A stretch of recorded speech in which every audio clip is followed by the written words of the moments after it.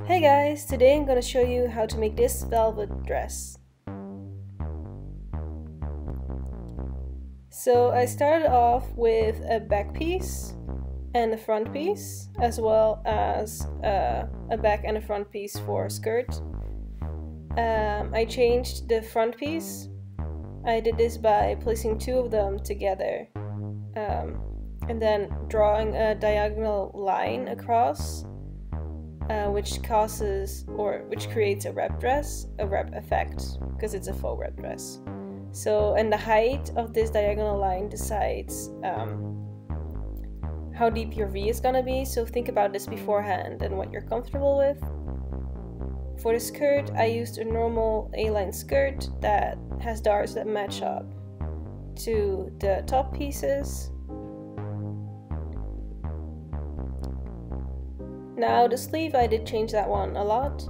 So I started out with a normal sleeve. I decided the length that I wanted it to be, which is about to my elbow. And then um, I drew vertical lines uh, across the sleeve and make sure that they're spread equally across your sleeve. Um, and after I drew these lines, I cut them uh, almost up until the top, but not quite.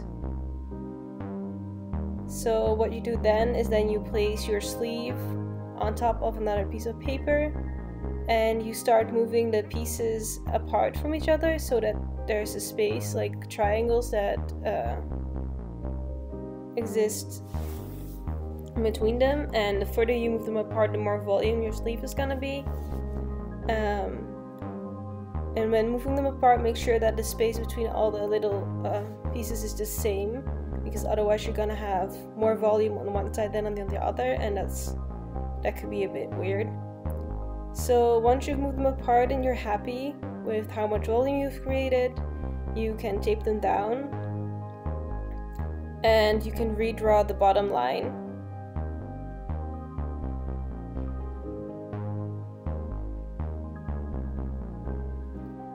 uh, which leaves you with a new pattern.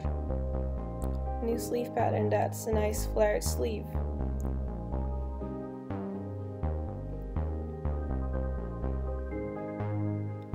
So after I uh, changed the pattern, I cut it out. So I used velvet, which is quite slippery and difficult, so I didn't cut anything double, because usually we would cut, you'd fold the fabric over and cut the sleeves at the same time. I didn't do that now because of the fabric moving on top of each other.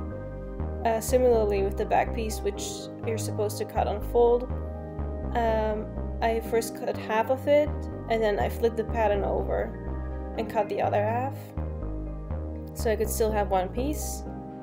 Uh, also make sure to mark your darts.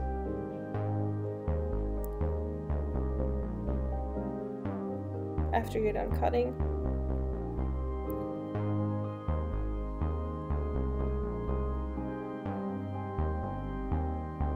Then pin and sew up all of your darts.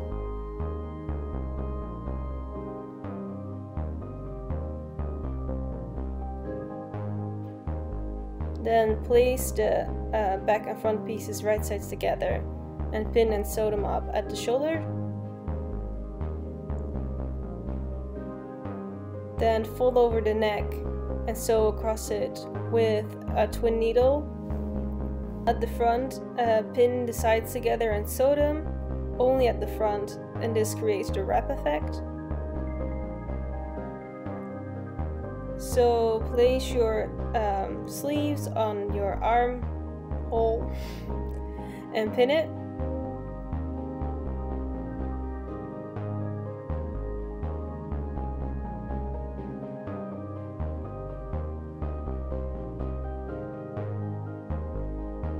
then sew.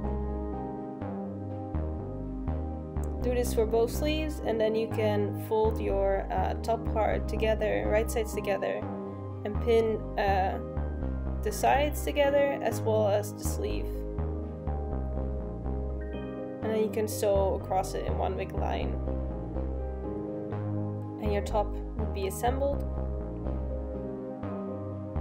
This is what it looks like, just an intermediate shot. Onto the skirt, place your two skirt pieces together and pin and sew. Finish the seams. You can just do this by cutting them as this fabric won't fray. Then place your top and bottom right sides together and pin around the waist.